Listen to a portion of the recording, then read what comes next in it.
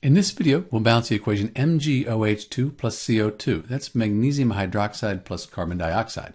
Let's add the atoms up. We have one Mg, and then this OH, this hydroxide group, the 2 applies to everything in parentheses. So we have 2 times the 1 oxygen gives us 2 oxygens.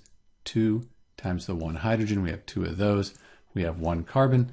And you can see I forgot to add these 2 oxygens here. So we have the 2 times the 1, that's the 2 plus we have two oxygens here. So we have four total oxygens.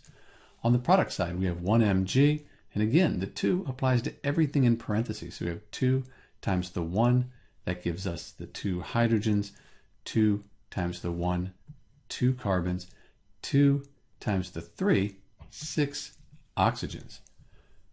It may be easiest to try to fix the carbons first, and that might just solve our problem with the oxygens. Let's try that. So we have two carbons here and only one here. We'll put a coefficient of 2. 1 times 2.